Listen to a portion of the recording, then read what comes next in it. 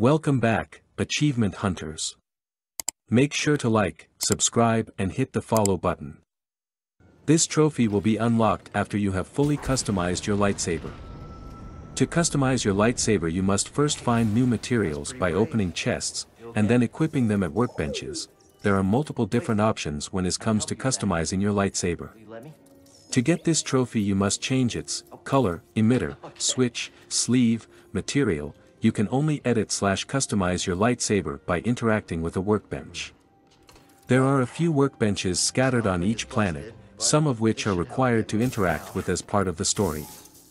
Upon opening chests you will unlock new customizable options for not only your lightsaber but Cal, BD-1, and your Mantis ship so it will likely take a few chests before you have one of each material for the above-mentioned categories.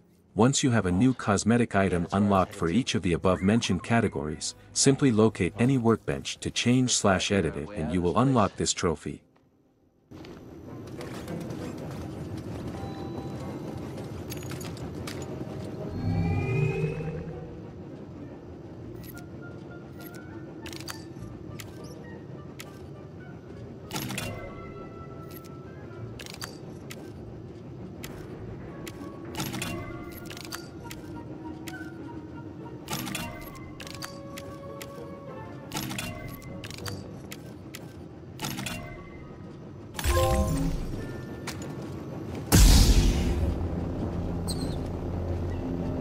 Stay tuned for more epic gaming adventures.